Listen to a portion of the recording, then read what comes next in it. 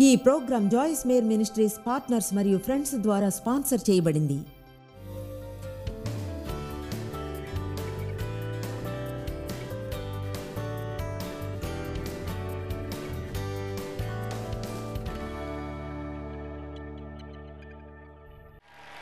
మీకు విషయం చెప్తాను. జీవితం అంతా దేవునితో పాటు వెళ్ళాలనుకుంటే కొంచెం ధైర్యం తెచ్చుకోవడం మంచిది.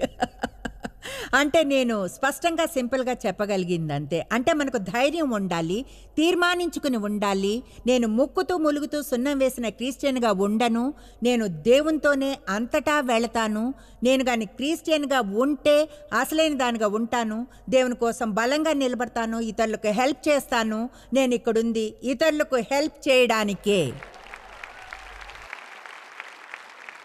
మీరు ఆశ్చర్యపోతారు మీ నాయకుల్లో కొంతమంది మీకు పరిచయం చేస్తుండగా అనుభవించిన కొన్ని విషయాలు. మీకు తెలిస్తే మీకు అసలు క్లూ కూడా ఉండదు ఏమో అనుభవిస్తున్నారో. కనుక ముందుగా నేను ఒక రెండు వచనాలను చదువుతాను తర్వాత నాకు జరిగిన కొన్నిటిని చెప్తాను. రెండు తిమోతి నాలుగో అధ్యాయం ఏడు ఎనిమిది వచనాలు. నిజంగా ఎన్నో ఏళ్ళు యోయో క్రిస్టియన్గా గడిపాను. నా పరిస్థితులు బాగుంటే బాగుండడం కృంగిపోతే కృంగిపోవడం పైకి క్రిందకు పైకి క్రిందకు. దాంతో బాగా అలసిపోయినప్పుడు మీ జీవితంలో స్థిరత్వాన్ని కోరుకుంటారు. నేను మంచి పోరాటాన్ని పోరాడాను. విలువైన గౌరవప్రదమైన మంచి పోరాటాన్ని. చెప్పండి పోరాడాను. నా పరుగు కడ ముట్టించి తిని.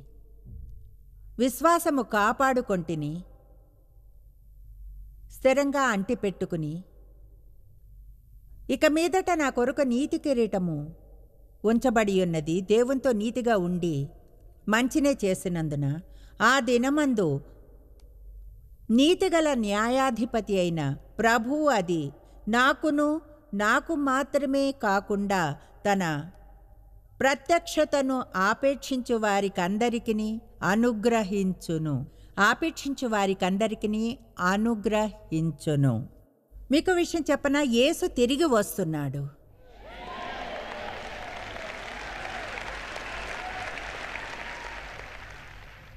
గత ఏడాది చివరిలో నిర్ణయించుకున్నాను ఏమనంటే నిత్య జీవనం జీవించడం గురించి ఎక్కువ బోధన చేయాలి అని. ఈ క్షణం కోసం జీవించడం కాదు. ఇప్పుడున్న దానిలో. తెలుసా నిత్య జీవనంతో పోలిస్తే ఒక జీవితం ఎంత చిన్నదో?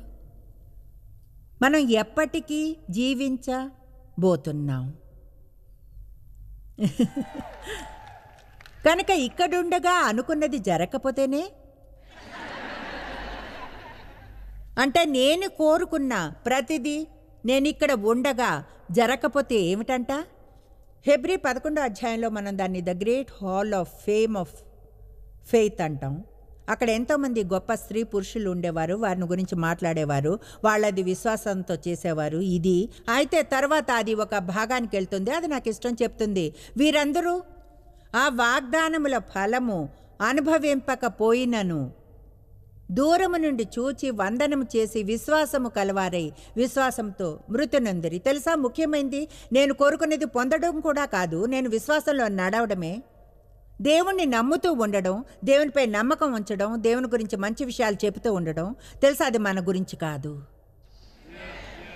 ఆయన అన్నాడు మంచి పోరాటాన్ని పోరాడాను ఆయన ప్రత్యక్షత కొరకు. ఎదురు చూస్తున్నాను. బైబిల్లో ఎన్నో వచనాలను చూశాను ఇప్పుడు. ఆశ్చర్యంగా ఉంటుంది దేవుడు నడిపిస్తుంటే. ఎన్నో వచనాలను చూశాను. ఇది చేయడానికి ప్రోత్సహించబడ్డం. ఎందుకంటే ప్రభు త్వరలో వస్తున్నాడు. లేదా ఆయన త్వరలో వస్తున్నాడు కనుక చేయండి. ఒక చోట పౌలు అన్నాడు నిస్వార్థంగా జీవించండి. ప్రభువు దగ్గరలో ఉన్నాడు. అందువల్ల మనం బూరధ్వని వినేంత వరకు వెయిట్ చేయకూడదు. అప్పుడు సిద్ధపడాలనుకోకుండా. సిద్ధంగా ఉండి జీవించాలి. అంటే అర్థం జీవితంలోని ప్రతిరోజు పూర్ణ మనస్సుతో దేవుడిని వెంటాడాలి. నాకు ఎంతో ఉత్సాహంగా ఉంది. ప్రజలు దేవుల్లో పరిణితి చెంది ఎదగడం చూస్తూ ఉంటే నిజం చెప్పాలంటే వాళ్ళు వారి పరుగును పరిగెత్తుతున్నారు ఇతరులకు ఆశీర్వాదకరంగా ఉంటూ వాళ్ళ జీవితాల్లో ఏం జరుగుతున్నా సరే. ఇప్పుడు మనం అపస్తుల కార్యములు ఇరవై ఇరవై రెండుతో ఆరంభిద్దాం. సరే ఇరవై రెండో వచనంతో ఆరంభిద్దాం. పౌలు చెప్తున్నాడు. ఇదిగో నేను ఇప్పుడు ఆత్మయందు పరిశుద్ధాత్మ బంధింపబడిన వాడినై ఎరుషులేమునకు వెళ్ళుచున్నాను. అక్కడ నాకు ఏమేమి సంభవించునో తెలియదు. కానీ బంధకములను శ్రమలను నా కొరకు కాచుకొని ఉన్నవని పరిశుద్ధాత్మ ప్రతి పట్టణములోనూ నాకు సాక్ష్యమిచ్చుచున్నాడని తెలియను. చూడండి అది చెప్పడం నాకు అసహ్యం అయితే ఈనాడు ఇలాంటి కావలసినంతమంది బలమైన క్రైస్తవులు ఉన్నారు ఇలా అనేవారు నాకు అనవసరం నాకేం జరిగినా దేవుడు వెళ్ళు అంటే వెళ్తున్నాను. చూడండి మనం ఇంకా బలంగా ఉండాలనుకుంటాను. మరింత తీర్మానంతో మన పరుగుని ముగిస్తామని వదిలిపెట్టి వెళ్ళిపోమని. పౌలన్నాడు పరిశుద్ధాత్మ నన్ను వివసుడిని చేశాడు. నేను వెళ్ళి ఇది చేసేలా. అయితే ఇవేమీ నన్ను కదిలించలేదు. నాకు ఇది ఇష్టం అయితే దేవుని కృపా సువార్తను గూర్చి సాక్ష్యమిచ్చుట యందు నా పరుగును నేను ప్రభువైన యేసు వలన పొందిన పరిచర్యను తుదముట్టింపవలెనని నా ప్రాణమును నాకెంత మాత్రమును ప్రియమైనదిగా ఎంచుకొనటలేదు ఇదిగో దేవుని రాజ్యమును గూర్చి ప్రకటించుచు నేను మీ మధ్యను సంచరించుచుంటిని. మీలో ఎవరినూ ఇక మీదట నా ముఖము చూడరని నాకు ఇప్పుడు తెలియను. పౌలుకి తెలుసు అతను చనిపోతున్నాడని. అయితే అన్నాడు నా పరుగును తుదముట్టిస్తాను. నేను చేయవలసిందంతా చేస్తూనే ఉంటాను. నా తుది శ్వాస వరకు. ఇప్పుడు చిన్న చిన్న విషయాలు మనల్ని బోధ చేయకూడదని అనుకుంటాడు దేవుడు. అప్సెట్ చేయకూడదని. పౌలు కొన్ని ఆసక్తికరమైన విషయాలు చెప్పాడు. మొదటి కొరింది ఏడులో మీరు పెళ్ళయ్యుంటే మంచిదే కానీ కాకుంటే చేసుకోవాలని అనుకోకండి. చేసుకుంటే చేసుకున్నప్పుడు డీల్ చేయాల్సిన అవసరం లేని సమస్యలతో డీల్ చేయాల్సి వస్తుంది. అంటే చెప్పాలంటే ఫన్నీగా ఉంది. మీరు తప్పక అంటే అక్కడికి వెళ్ళడానికి టైం తీసుకోను. వేరే కొన్ని చోట్లకి వెళ్ళాలి. అది ఎలా అంటే పౌల్ అన్నాడు తెలుసా అంటే అందులో ఎలాంటి తప్పు లేదు. కానీ ప్లీజ్ అర్థం చేసుకోండి భార్యను గాని భర్తను గాని పొందితే డీల్ చేయనవసరం లేని వాటితో డీల్ చేయాల్సి ఉంటుంది. పౌలు వైఖరి ప్రభు వస్తున్నాడు అన్నదే అంటే యేసు వస్తున్నాడు అనుకున్నాడు కొన్ని రోజుల్లోనే. అందువల్ల అతను ఆ విధంగా ఫీల్ అయితే అప్పుడు ఇప్పుడు మనం ఎలా ప్రవర్తించాలి? ఆయన ఎప్పుడు వస్తాడో సరిగ్గా నాకు తెలియదు కానీ గతంలో కంటే త్వరలోనే అని తెలుసు. గడిచే ప్రతిరోజు నాకు తెలుసు అది ఒక రోజు కంటే ముందుగా అవుతుంది అని మనం ఇక్కడ కూర్చున్నంత ఖచ్చితంగా బూరధ్వని వినపడుతుంది. ఆకాశాన్ని చీల్చుకుని వస్తాడు. సమాధుల్లోంచి మృతి చెందిన వారు లేపబడతారు. మనం గాల్లోకి లేపబడి అందరం ఆయన్ని కలవబోతున్నాం.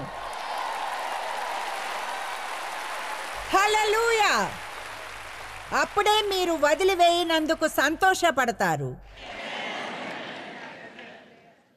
అయితే మనం ఆ రోజు రాబోయే గంటలో కావచ్చున్నట్లు జీవించాలి. లేదా రేపు ఉదయం అన్నట్లుగా. బుద్ధిహీనులైన కన్యకల్లా ఉండకూడదు. పెళ్ళి కుమారుడు వచ్చేంతవరకు వెయిట్ చేయాలని కలవాలని సిద్ధమైనట్లుగా. నిజంగానే మీతోనే మాట్లాడడం లేదు. ప్రపంచవ్యాప్తంగా ఉన్న ప్రజలతో మాట్లాడుతున్నాను. ఒక విషయం చెప్తాను. ఈరోజు మీరు ఇక్కడ చర్చిలో ఉన్నారు. చెప్పే విషయాలు లాంటివి చేయడానికి సిద్ధంగా ఉండవచ్చును. అయితే ప్రపంచంలో చాలామంది ఉన్నారు. అది ఎలా అంటే ఏమిటి? లోకానికి ఎంతో సహాయం కావాలి. దేవుని వాక్యం కావాలి. చాలామంది చర్చికి వెళ్ళరు అయితే అందరూ టీవీ చూస్తారు. సంకల్పంతో నా ప్రోగ్రాంని చూడకపోవచ్చును కానీ ఎక్కువగానే వస్తుంటాను వాళ్ళేమీ చేయలేరు అప్పుడు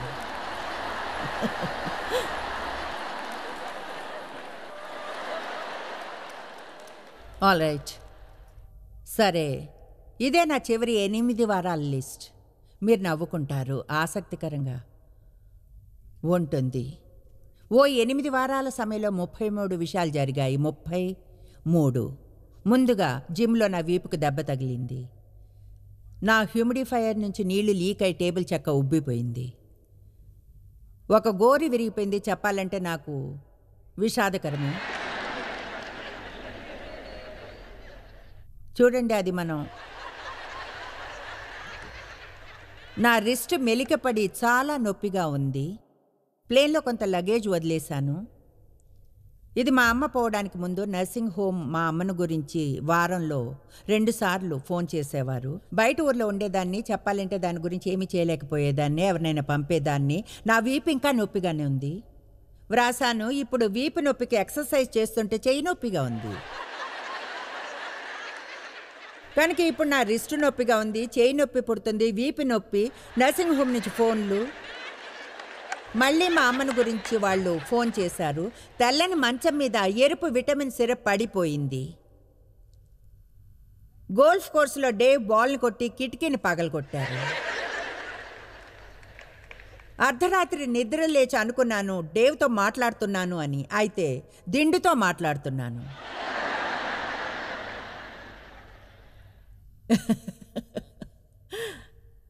కొంత డబ్బు ఖర్చు పెట్టాల్సి వచ్చింది. మారుద్దామన్న ఐడియా లేని మంచాన్ని మార్చడానికి నేను ప్యాంటీ వేసుకోవడంలో కాలి బొటని వేలు ఇరుక్కుపోయింది. నా చిన్న బొటన్ వేలు ఇరుక్కుపోయింది. ఇలా అంటున్నాను. గదిలో ఎగురుతున్నాను అయినా వేలు బయటకు రాలేదు. కంపు కొట్టే ప్యాంటీలోంచి నా వేలును బయటకు తీసే లోపల బొటన్ వేలు మడత పడి వాసిపోయింది. నల్లగా నీలంగా అయిపోయింది. అంటే ఇప్పుడు ఆ వేలు ఇరిగిపోయినట్లే ఉంది. నా రిస్ట్ నొప్పి పుడుతుంది. వీపు నొప్పిగా ఉంది. వీపు కోసం ఎక్సర్సైజ్ చేస్తుంటే చెయ్యి నొప్పి. ఒక పుస్తకం రాయడానికి ట్రై చేస్తున్న సభల్లో బోధించడం టీవీ ప్రోగ్రాంలు.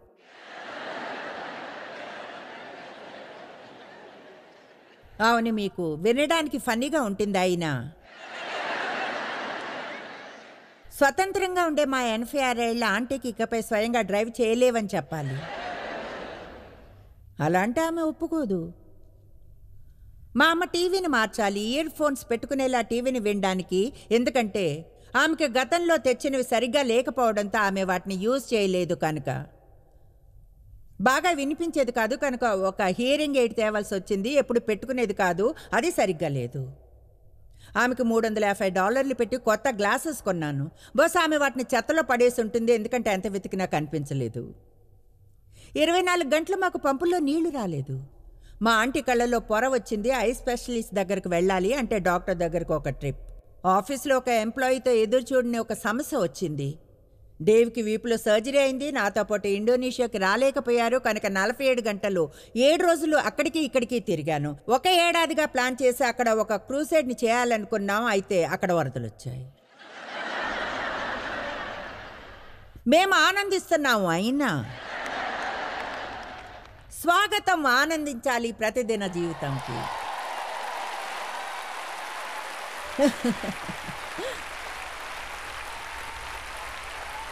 ఈనాటి ప్రోగ్రాంని నిజంగా ఆనందించారనుకుంటాను. నా కాలువేలు ఇరిగి ఉన్నా రిస్ట్ గందరగోళంగా ఉన్నా వీపి నొప్పిగా ఉన్నా రాత్రుల్లో దిండులతో మాట్లాడుతున్నాను. ఓ అయితే మీరు ఇంకా బెస్ట్ది వినలేదు.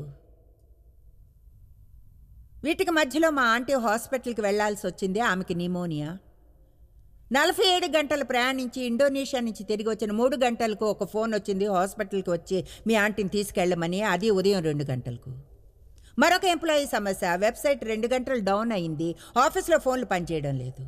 తర్వాత మంచం కోడులో నా కాలివేలు ఇరుక్కుపోయింది. ప్యాంట్రీ నేల మీద క్రాకర్స్ పూర్తి బాక్స్ పగిలిపడ్డం. నర్సింగ్ హోమ్కి షిఫ్ట్ అవ్వాలని మా ఆంటీకి చెప్పడం.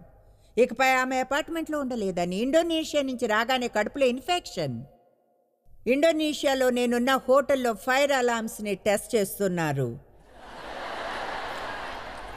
ఇక చివరిది ముఖ్యమైంది వెళ్ళి రిలాక్స్ అవడానికి మసాజ్ చేయించుకుందాం అనుకున్నా. స్పాకి వెళ్ళాను.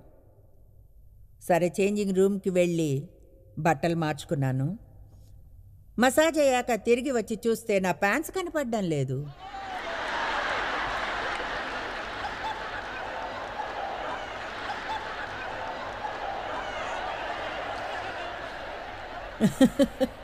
ఇప్పుడు టాప్ వేసుకునే ఏదో ఇక్కడ మిస్ అవుతుంది అనుకున్నాను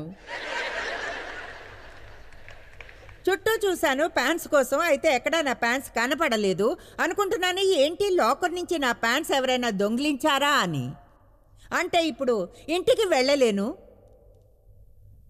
సరే ఓకే ఇప్పుడు ఇక్కడ ఉన్నాను చూడండి ఎవరో ప్రజలకు తెలుసు నేను. కనుక అదెలా అంటే నాకు పైకి వెళ్ళి అక్కడ ఆ అమ్మాయితో ఇలా అనాలని లేదు. నా ప్యాంట్స్ కనపడటం లేదని. అయితే వేరే దారి లేదు. కనుక ఒక గుడ్డ చుట్టుకుని పైన అమ్మాయి దగ్గరికి వెళ్ళి అన్నాను నా ప్యాంట్స్ నా ప్యాంట్స్ కనపడడం లేదు. వాళ్ళు అన్నారు ఎక్స్క్యూజ్ మీ అన్నాను నా ప్యాంట్స్ కనపడడం లేదు. సరే వాళ్ళెవరో క్రిందకి పంపితే వాళ్ళు లాండ్రీ అంతటా చూశారు. లాకర్స్ని చెక్ చేశారు నోపు కనబడలేదు. అప్పుడు అన్నారు చూడండి మిస్సెస్ మేయర్ మీకు కొత్త జాత ప్యాంట్స్ని ఇస్తాం. కానీ మీరు లాబీలోంచి గిఫ్ట్ షాప్ వరకు వెళ్ళాల్సి వస్తుంది. ఓకే అంటే ఇప్పుడు అంటే చూడండి ఇదంతా ఒక మంచి హోటల్లో. సరే నేను లాబీలోంచి వెళ్ళాను. తెలుసా మసాజ్ చేశాక ఎలా కనిపిస్తామో జుట్టంతా నూనెతో అతుక్కుని పోతుంది. సరే దీన్ని వేసుకుని ఇలా అంటున్నాను. అక్కడ యా ఓకే యా. గిఫ్ట్ షాప్లో వాళ్ళు అన్నారు యాప్ వాళ్ళు ముందే మీ గురించి ఫోన్లో చెప్పారు. నేను యా మీ దగ్గర ఉందా? సరే వాళ్ళు నాకు ఒక జత ప్యాంట్స్ ఇచ్చారు ఆ ప్యాంట్స్ వేసుకుని ఇంటికి వెళ్ళాను తర్వాత ఫోన్ చేసి చెప్పారు. మీ ప్యాంట్స్ కనిపించాయని తెలుసా ఎక్కడున్నాయో? నేను వాటిని ఒక బెంచ్ మీద వేశాను లాకర్లో పెట్టడానికి బదులుగా కనుక ఎవరో వాటిని డెస్క్ దగ్గరకు తీసుకెళ్తే అవి ఎంతసేపు అక్కడ డెస్క్ క్రింద పడి ఉన్నాయి అయితే ఆ అమ్మాయి తన అపాయింట్మెంట్ బుక్ని వాటి మీద పెట్టింది. ఇప్పుడు నాకు తెలీదు. దేవుడు ఇలాంటివన్నీ ఫన్నీగా ఉంటాయనుకుంటాడా? అని ఇదంతా ఆయన వినోదం కోసమే. అయితే నేను ఎలా అంటే అంటే నిజంగా నా దేవా నాకు వేరే పనులు ఉన్నాయి కనుక మీరు తెలుసుకోవాలి ప్రతి ఉదయం ఇలా అన్నప్పుడు స్వాగతం ఆనందించాలి ప్రతిదినం జీవితం కానీ ఒక అవకాశం ఉంది ఆ రోజుని ఆనందించలేకపోవడానికి. కమాన్ దేవునికి స్థుతులు చెప్పండి.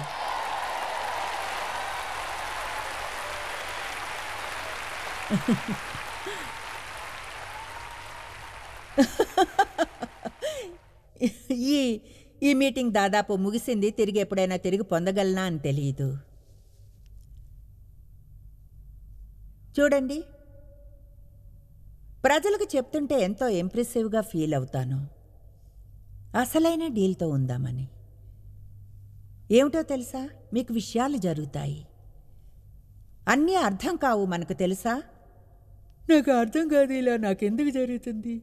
నాకు అర్థం కాదు మీకు ఎందుకు కాదు? ఇంకెవరికో అయితే ఎందుకు అది పర్వాలేదు? అంటే ఇంకెవరో అయితే ఎందుకని వాళ్ళు దేవుణ్ణి నమ్మాలి కానీ మనం దూరంగా ఉండాలి? ఏం చేయాలో తెలియనప్పుడు మీకు తెలిసింది చేస్తూ ఉండండి. నిద్ర లేచి ప్రార్థించండి వాక్యాన్ని ఒప్పుకోండి ఆఫీస్కి వెళ్ళండి చర్చికి వెళ్ళండి ఒప్పందాలను ఉంచుకోండి బిల్స్ని పే చేయండి ప్రజలతో దయగా ఉండండి ప్రేమగా ప్రేమలో నడవండి. ఒకవేళ నిజంగా నిజంగా అపవాదికి కోపం తెప్పించాలనుకుంటే అంటే నిజంగా తెప్పించాలనుకుంటే అతని బెస్ట్ బాణం మీ మీద విసిరినప్పుడు బయటికి వెళ్ళి మరింతగా ఇతరుల కోసం చేయండి గతంలో మీ జీవితంలో చేసిన దానికంటే.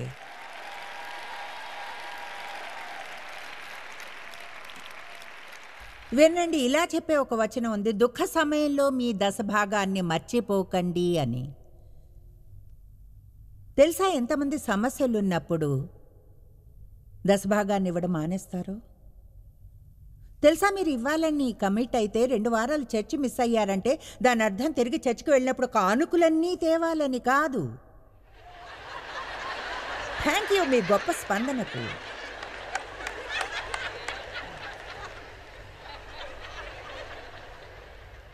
మొదటి తెశలోనికైలు నాలుగు. పదమూడవ వచనము. సహోదరులారా నిరీక్షణ లేని ఇతరుల వలె మీరు దుఃఖపడకుండు నిమిత్తము నిద్రించుచున్న వారిని మరణంలో గూర్చి మీకు తెలియకుండుట మాకిష్టం లేదు. తర్వాత వచనం ప్లీజ్. యేసు మృతి పొంది తిరిగి లేచినని మనము నమ్మిన ఎడల అదే ప్రకారము యేసునందు నిద్రించిన వారిని దేవుడు ఆయనతో కూడా వెంటబెట్టుకుని వచ్చును. ముందుగా అంటున్నాడు మీరు ప్రేమించేవారు మీకంటే ముందుగా మృతి చెందితే వారి గురించి చింతించకండి ఎందుకంటే వారిని మీరు మళ్ళీ చూస్తారు. హలో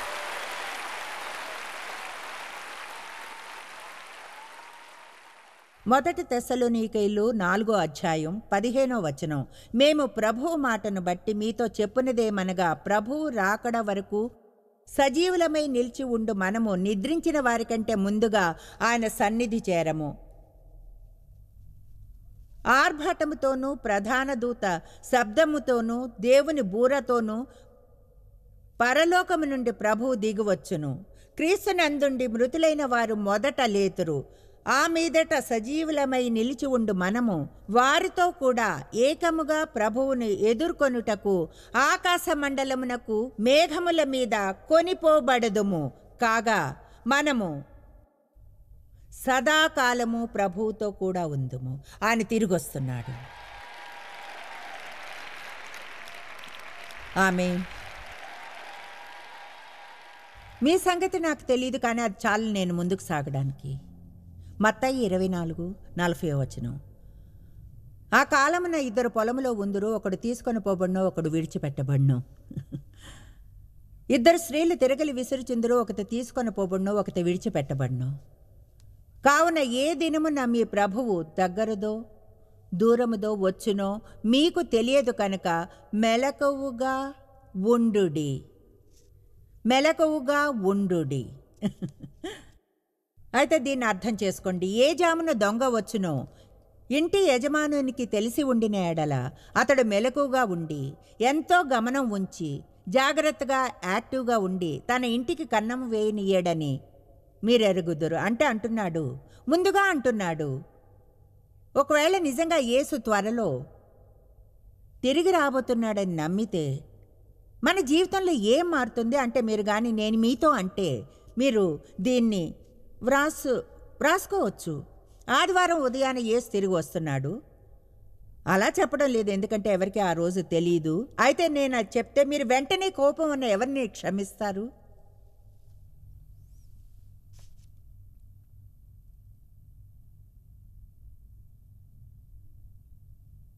వెళ్ళి ఎవరితో సమాధాన పడతారు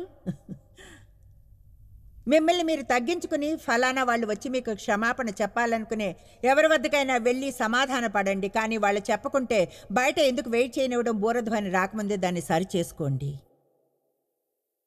తెలుసా ఒకవేళ ఏవైనా ఉంటే ఏదైనా సరే మీరు చేయవలసింది అనుకున్నది చేయకుంటే వాయిదా వేయకండి.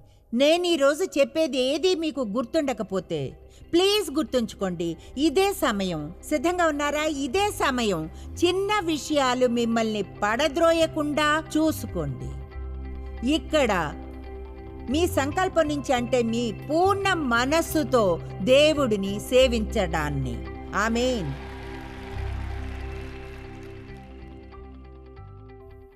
మీకు గుర్తు చేస్తున్నానంటే సమస్యలు మిమ్మల్ని పడద్రోస్తాయని. మీకు చేయడం తెలిసింది చేస్తూ ఉండండి. దేవుని వాక్యం చెప్పే దాని మీద ఫోకస్ నుంచి విడిచి వెళ్ళి పోకండి.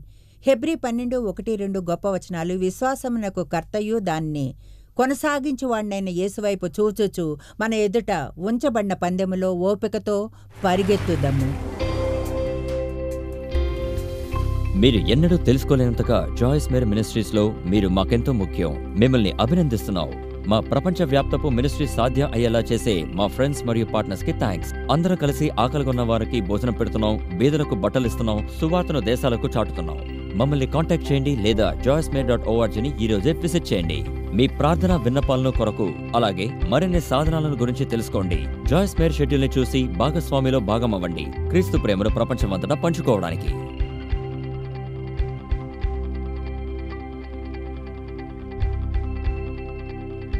ఈ programme Joyce Meyer Ministries partners మరియు ఫ్రెండ్స్ ద్వారా స్పాన్సర్ చేయబడింది. ఈ ప్రో